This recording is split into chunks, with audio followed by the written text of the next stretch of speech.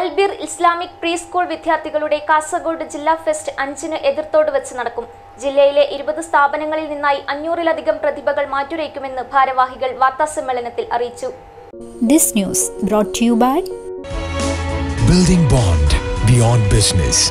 Tile Zone. Kannur, Iriti, Taliparba, Payyanur, Kasargod and Behran. ജനുവരി അഞ്ചിന് രാവിലെ ഒൻപത് മണിക്ക് Ethirthode Muhiyuddin Juma Masjid committee president Y Muhammad Kunhi Haji പതാക ഉയർത്തുന്നതോടെ പരിപാടിക്ക് തുടക്കമാവും. N A Nellikkunnu M L A ഉദ്ഘാടനം ചെയ്യും.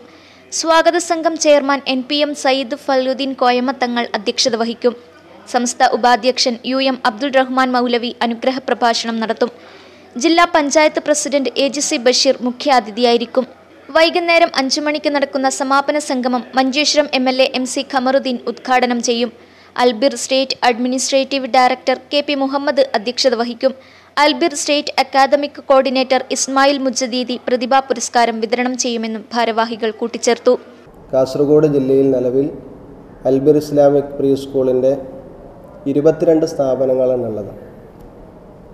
ആ ഇരുപത്തിരണ്ട് സ്ഥാപനങ്ങളിൽ നിന്ന് ഇരുപത് സ്ഥാപനങ്ങളെ ഒരു സോണായി തിരിച്ചുകൊണ്ടാണ് ഈ വരുന്ന ജനുവരി അഞ്ചാം തീയതി ചെറുക്കള എതിർത്തോട് വെച്ച് അതിന്റെ ജില്ലാ ഫെസ്റ്റ് നടക്കുന്നത്. കാസർഗോഡിന്റെ അഭിനന്ദനായ എം എൽ എ എന്നെ നെല്ലിക്കുന്ന് എം എൽ എ ഉദ്ഘാടനം ചെയ്യും. സമസ്തയുടെ അഭിനന്ദനായ ഉപാധ്യക്ഷൻ യു എം അബ്ദുറഹ്മാൻ മൗലവി അവർ അനുഗ്രഹ ഭാഷണം നടത്തും. സ്വാഗത സംഘം chairman N P M Sayyid Falluddin Koyamathangal Muhammad Hasan Darimi Albir ജില്ലാ coordinator Jabir Hudavi Chanadukkam general convener Rasheed Belinjam working convener Abdulla Kunhi Ethirthode Ahammad Haji തുടങ്ങിയവർ വാർത്താസമ്മേളനത്തിൽ പങ്കെടുത്തു.